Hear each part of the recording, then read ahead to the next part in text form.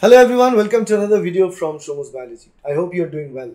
In this series of lectures, we are using tricks and mnemonics to understand complicated processes quite, quite easily. So here we are going to discuss about the photosynthesis and we are going to talk about the tricks to remember photosynthesis. And whenever we talk about photosynthesis, there are two steps that we need to discuss. One obviously is the light reaction and the second one which is required to use more mnemonics to understand is the Calvin cycle. So we'll talk about both. First, we'll talk about the Calvin cycle, how to remember Calvin cycle. Then we'll talk about the uh, reactants and the products of the light reaction that are involved in the process of uh, next step that is the Calvin cycle. So let's let's start uh, let's start the clock and let's begin to understand this process. So photosynthesis first Calvin cycle this is what we need to understand and uh, the mnemonic is simple easy you know we have a class teacher earlier and the teacher used to always uh, when she comes to the class they always want fresh oxygen. So say that open the doors uh, so that open the doors and windows so that we can get uh, some fresh oxygen. And her name is uh, was Rupa ji so we simply uh, put this in this mnemonic. Rupa ji ne kaha want some fresh oxygen. So it's basically Rupaji is saying that want some fresh oxygen. If you remember this, you will never forget the steps of Calvin cycle ever. So uh, this is uh, like a representation of this. Rupaji ne kaha, I uh, want some fresh oxygen. So again, we'll move on to this and rearrangement.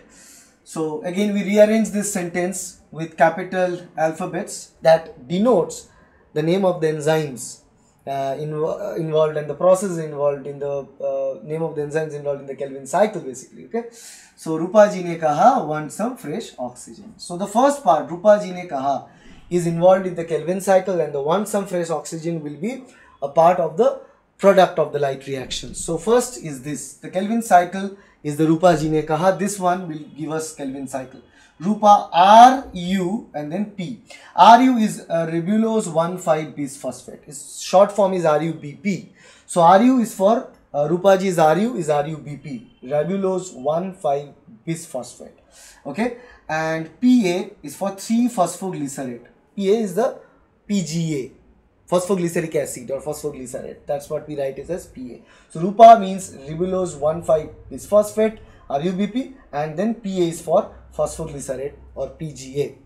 Next, G, GI, G for glyceraldehyde 3-phosphate, G3P, glyceraldehyde 3-phosphate. That is a part of GI. Okay, so Rupa G, Ne, there is nothing for Ne, then Kaha is something. So Rupa G is going to give us the information regarding uh, the involvement and uh, enzymes involved in the Calvin uh, cycle, uh, like ribulose 1,5 bis phosphate, 3-phosphoglycerate, and then finally glyceraldehyde 3-phosphate. These are the three intermediates and there are enzymes involved. Will convert the intermediates from one to the other okay? But these are the intermediates of the Calvin cycle that you need to focus on. Ribulose 1,5 bisphosphate. The enzyme is the ribulose 1,5 bisphosphate uh, carboxylase oxygenase. Rubisco is the name of the enzyme that is involved there. I believe you know that so we don't need to discuss much about Rubisco. Then 3-phosphoglycerate and glyceraldehyde 3-phosphate are the intermediates. So once you know the intermediates here, now I'll move to the light reaction products and it is want some fresh oxygen. Want some fresh oxygen. So want some fresh oxygen is, is going to give us the reaction substrates and products of the light reaction. So uh, we'll go like this, want some fresh oxygen and I'll write it W-A-N all capital some fresh and oxygen is with O. So what is W? W is for water, A is for ATP, N is for NADPH. Three important components that are produced, the product that are produced and obviously O for oxygen that is also produced. So these are produced after the light reaction that is water, ATP, NADPH and oxygen and we to utilize that uh, for the further process. NADPH is going to be utilized in the process later on in the Calvin cycle uh, in order to complete the process of photosynthesis. That's the overall idea about photosynthesis. I believe you have a clear understanding of photosynthesis with the help of this particular mnemonic. If you understand this, please hit the like button, share this video with your friends and subscribe to this channel to get more videos like that in future. And also watch every single video of this series to have a clear understanding of complicated biological processes with the help of mnemonics and tricks.